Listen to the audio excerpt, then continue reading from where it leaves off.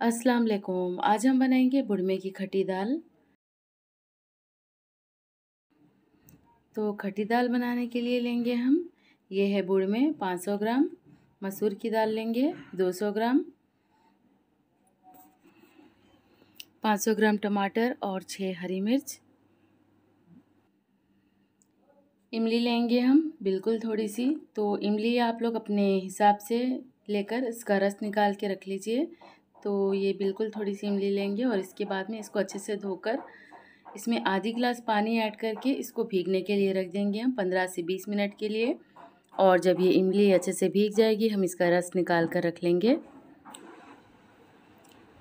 अब हम बुड़मे को छील लेंगे। इस तरह से पहले इसका छिलका निकाल लेंगे।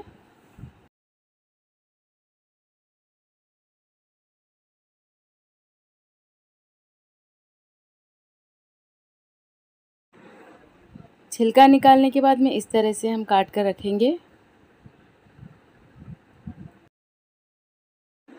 और काट लेने के बाद में इसके अंदर के जो बीज रहते हैं, वो हम निकाल लेंगे। तो अगर आप लोग ये बीज नहीं निकालना चाह रहे हैं तो भी रख सकते हैं, या फिर अगर निकालना चाह रहे हैं तो इस तरह से बिल्कुल थोड़े से बीज हम बुड़मे में ही छोड़ देंगे और बाकी के जो बीज है, निकाल लेंगे।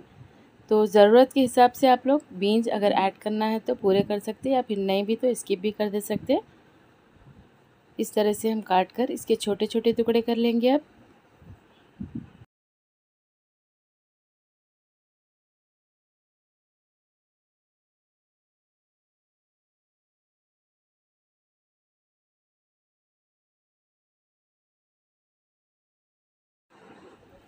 तो ये देखिए, इस तरह से हमने बुड़ में टमाटर और हरी मिर्च को काट के एक साथ में रख लिया है।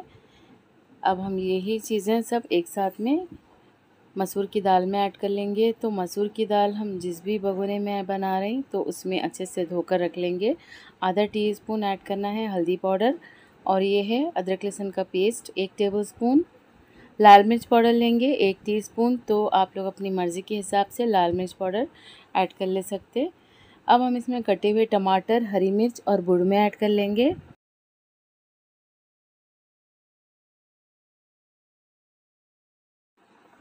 पानी ऐड करेंगे एक गिलास।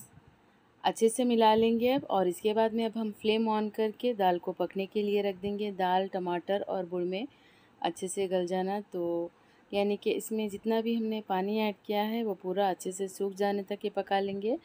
तो अब हम इसको ढक्कन से कवर करके मीडियम हीट पे पकने के लिए रख देंगे।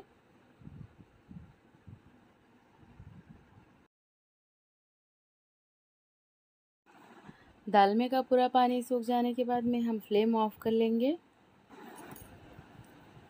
दाल बुड़मे और टमाटर अब अच्छे से गल गए तो अब हम इसमें ऐड करेंगे कोतमीर और करी पत्ता।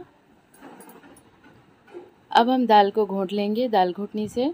तो दाल को हम बिल्कुल पेस्ट की तरह नहीं करेंगे। थोड़ा सा कोर्सली इसको मैश कर लेना है।